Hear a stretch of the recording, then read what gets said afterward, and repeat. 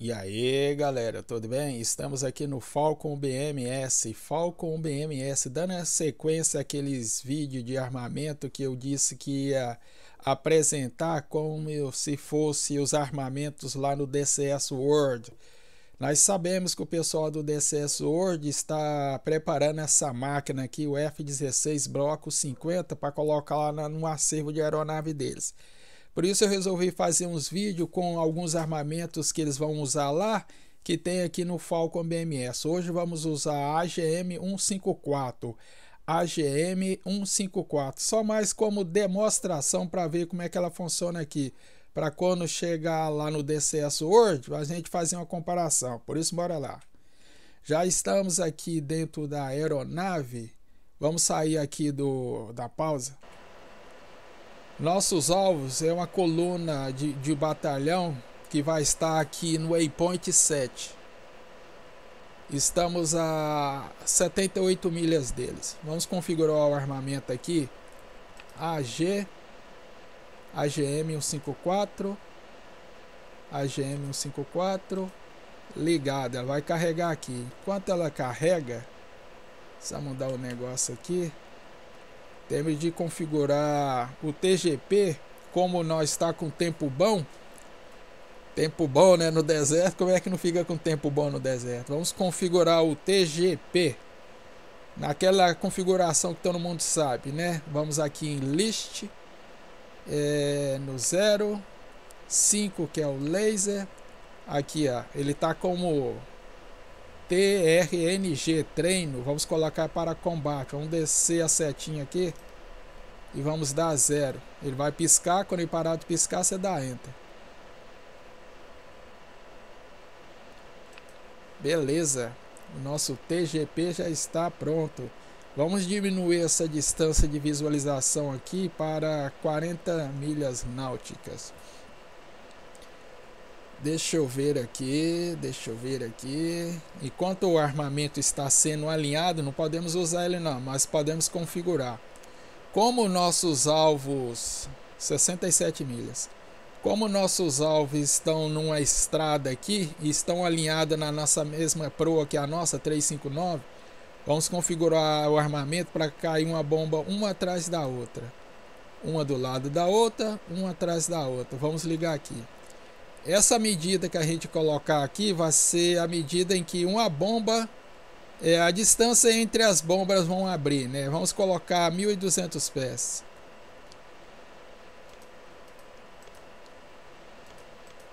Isso aqui é fit, né? Fit, eu acho que é isso mesmo, 1.200 pés. E dá Enter. Opa.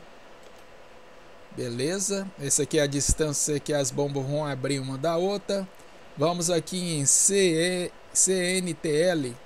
Vamos configurar uma, alguma, essas três informações aqui. Ó. AT, K, AZ é o ângulo de aproximação da bomba. O ângulo que a bomba vai se aproximar em relação ao alvo. Como estamos, elas estão numa estrada aqui, vamos colocar no mesmo ângulo que estamos indo aqui, 359. 359. 359. É o mesmo ângulo que estamos voando aqui agora. A nossa proa. A nossa proa é o mesmo a proa dos alvos aqui. Esse AGEA aqui, a FT, é a altura em que as bombas vão abrir em relação ao alvo. Lá no, DC, é, lá no DCS hoje, geralmente eu deixo 900. Mas aqui eu vou fazer uma mudança. Vou colocar... O default aqui tá 700, eu vou colocar 800. 800. Enter. Beleza. Ah, o hobby aqui. Os, é, os vídeos que eu fiz anterior dessa, dessa, desse armamento, eu disse que essa informação aqui eu não tinha traduzido ainda. Agora eu já sei. Deixa eu ver se eu explico de uma maneira bem simples aqui. Imagine, a, a, imagine que no ponto A é onde as bombas vão cair. Essa é a distância, essa é a distância em relação ao alvo em que as bombas vão ser alinhadas. Então essa distância aqui que a gente configura é a distância que, é, que a bomba vai usar essa de 104 milhas, ela vai usar essa distância aqui em relação ao alvo para se alinhar em relação à proa dos alvos. É lógico, quanto mais longe, mais tempo a bomba vai ter para se alinhar, né? Beleza? Deu para entender simplesinho aí? Mas mesmo assim nós vamos mudar isso aqui também. Vamos colocar 5. Vamos rapidinho ali que o nosso tempo ali está acabando. 5. Enter. Então temos ângulo da proa, altitude das bombas, é, distância que as bombas vão alinhar em relação ao alvo, é, é, é, distância das bombas uma da outra e beleza. Vamos fazer uma gravação aqui. Ele gravar aqui a CMR. Beleza. Então vamos lançar o seguinte. Não vamos, é, como nós temos vista boa aqui, nós não vamos usar o radar, vamos usar o TGP. Mas mesmo assim deixa o radar ali só para figurativo. Vamos colocar aqui em TGP, Standby, AG. Vamos passar para Ensoi. Aqui a nossa setinha já está chegando. Armamento ligado, beleza. Beleza. Estamos a 33 milhas. Vou ver se é... vamos só fazer uma configuração aqui. Beleza, vamos ver se a gente consegue enxergar os alvos. Vou deixar nessa vista aqui, nesse zoom aqui, senão não consegue chegar essa telinha aqui embaixo. Vamos mudar a vista aqui. Vamos dar um zoom. Opa, os nossos amiguinhos ali, ó. Pera aí, deixa eu dar uma pausa aqui. Beleza. Tá vendo essa distância aqui? É 30. O manual diz que é metro, mas é uma descongregância, né? Se isso aqui for metro, porque todas as medidas da aeronave é em pés, né? Mas tudo bem, vamos fazer o seguinte, ó. Tá vendo essa linha aqui? Vamos usar ela como referência. Eu vou fazer o seguinte, toda essa linha de alvos aqui, ó, eu vou dividir ela na metade. Vamos ver se dá para fazer isso aqui. Aqui, nesse caminhãozinho, já tem uma linha.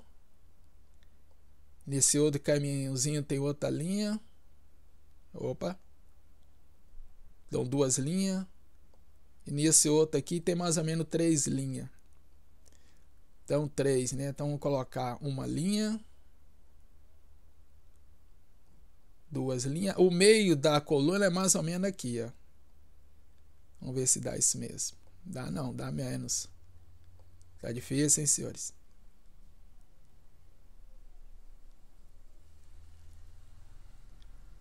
Então, uma linha aqui,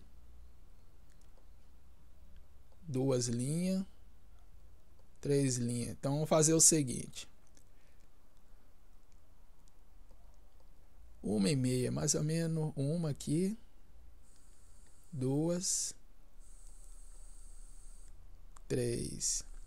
A ideia é pegar a linha, dividir ela no meio e depois mais duas. Nessas mais duas eu coloco uma, duas bombas lá para frente e mais duas bombas aqui para trás. Se vocês lerem o manual dessa aeronave, tem uma foto lá que explica exatamente o que eu estou tentando mostrar aqui, mas tá difícil, viu? Geralmente a bomba nessa configuração que eu fiz ali, uma atrás da outra, ela vai cair uma em cima do alvo e outra um pouquinho mais para trás. Por isso que a gente não pode jogar no meio aqui da coluna. Vamos fazer o seguinte. Bem aqui. Um pouquinho para trás. Então, um. Vamos jogar aqui. Vamos jogar uma bomba bem aqui.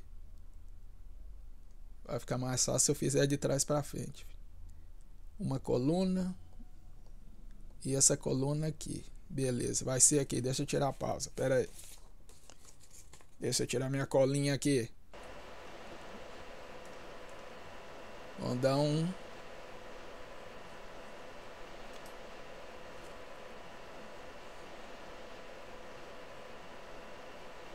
Vai, trava.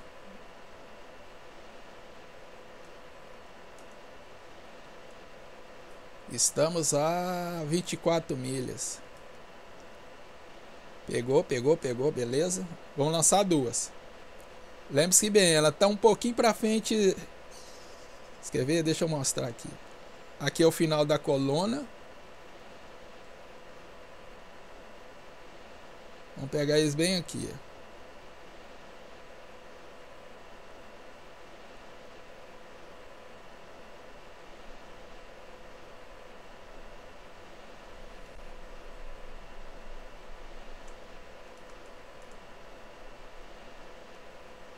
Beleza, vamos lançar aqui. Já estamos a 18. Duas bombas.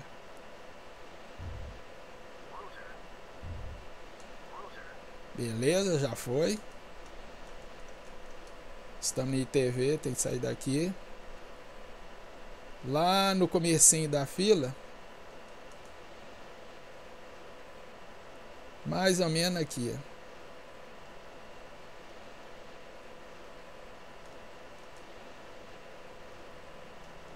Peguei duas bombas.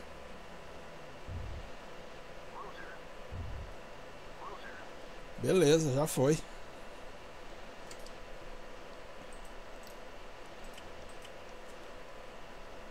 Você não precisa destravar. Só virar aqui. Tá fazendo a gravação ali, depois a gente mostra.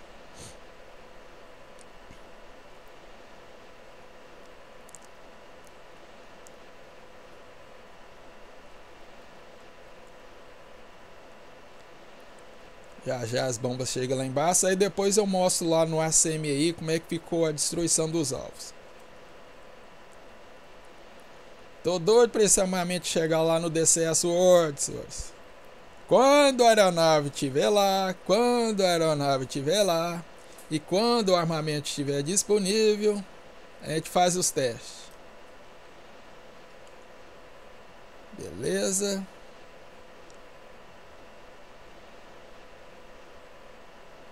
A coluna aí. Ó.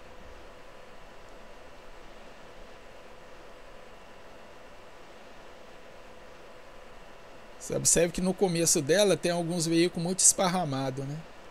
E lá atrás tem uns veículos muito concentrados. Vamos ver se a gente pega pelo menos a metade.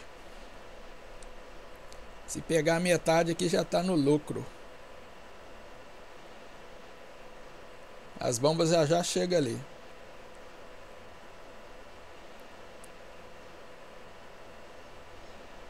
Opa, caiu uma. Beleza. Sobrou um caminhãozinho aqui na frente. Dois caminhãozinhos. Opa, beleza. Acho que peguei quase todos. Ali atrás morreu. Morreu, como diz o outro. Morreu, morreu, morreu. Ó, sobrou dois caminhãozinhos. Só dois. De todo aquele batalhão ali, sobrou. O que, que é aquele ali? Ah, não, sobrou um lá no finalzinho. Mas esse cara é sortudo, vi. Olha lá, sobrou três caminhãozinhos, vi. Pode? Beleza. Quatro bombas. Beleza. Vamos ver lá no ACMI como é que ficou. Deu para entender aí, pessoal? Falcon BMS fazendo é, lançamento de armamentos que serão usados lá no DCS World. O pessoal disse que esse ano a aeronave sai, né? Mas sabe como é que é lá, né? Pera aí, bora lá no SMI, já já volto.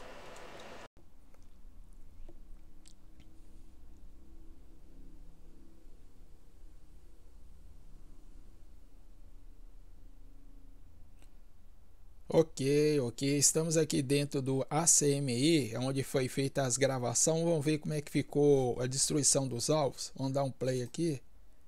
Vamos dar uma adiantada. Nosso tempo aqui é curto. Cadê as bombas?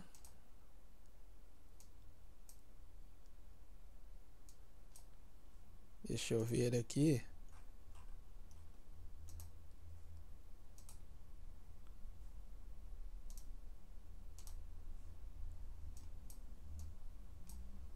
Beleza, já está descendo as bombas. Só mudar esse ângulo aqui. Aqui, ó. A1 e A2, A3 e A4. Deixa eu ver aqui. Quem vai chegar primeiro? A princípio A1 e A2, né? Só mudar esse ângulo aqui.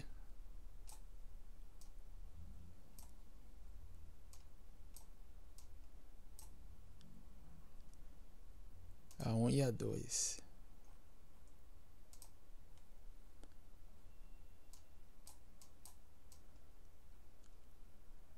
Acho que vou virar para cá. Beleza. Eu acho que nesse ângulo aqui tá melhor.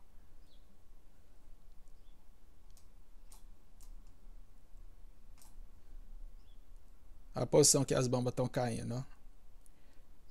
A 3 e a 4 eu acho que caiu muito para trás, viu? Vamos ver aqui. Não, caiu no lugar certo, tá lá. É por isso que sobrou dois aqui, ó. Você devia ter jogado um pouquinho para frente, filho. A, a 1 e a 2. Olha lá. Então, tecnicamente, sobrou. Pera aí. Sobrou três caminhão mesmo. Aqui, você jogou muito pro meio. É, você viu que lá a gente não tem muito tempo para ficar pensando, não. Ou seja, visualiza, tenta usar os recursos de medida que tem lá no TGP e lança as bombas. Por isso você tem que estar tá afinado com as informações que o sistema te dá. Deixa eu só voltar aqui. Vamos voltar, vamos voltar. Beleza. Isso aqui é o Viper, que sou eu, a 1 e a 2 lançada. Vamos adiantar aqui, tempo aqui é, é dinheiro.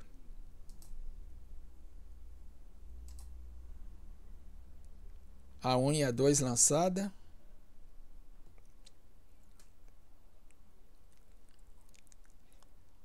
Vamos ver quem chega primeiro. A 3 e a 4, não?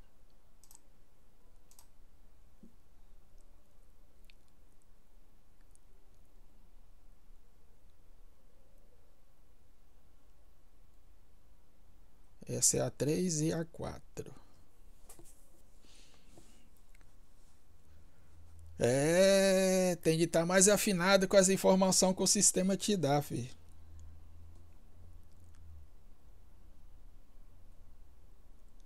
Opa, essa visão aqui ficou boa. Pera aí. Aqui, ó.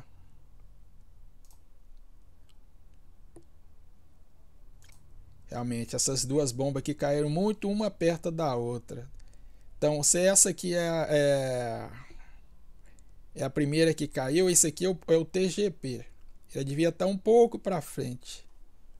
E isso é a mesma coisa para a bomba de trás, quer ver? Olha lá. Por exemplo, essa aqui caiu no lugar certo. Essa aqui quase caiu num lugar onde já não tinha alvo. Olha lá. É, parceiro, tá vendo? Essa ferramentinha aqui é boa. Significa que esse é o ponto de impacto. Esse é o ponto de impacto. Ele devia estar mais para frente e esse aqui está mais para trás. A gente tem de usar as informações que o TGP dá lá para ficar mais afinado quanto à distribuição aqui, porque lá você não tem muito tempo para ficar pensando não. Visualiza, você viu que o TGP aqui no, é, no Falcon BMS não é igual aquele TGP lá do DCS Word que nós usamos no A10, não. Que é lá você, você visualiza numa distância muito grande. E lá o A10 voa lento. E aqui o bicho voa rápido. Então, meu filho, você tem de usar melhor as informações e agir mais rápido. Entenderam? É isso aí, pessoal é, Falcon BMS fazendo os testes do armamento lá do que vão ser usados lá no DCS World. AGM 154. Valeu, obrigado, fui!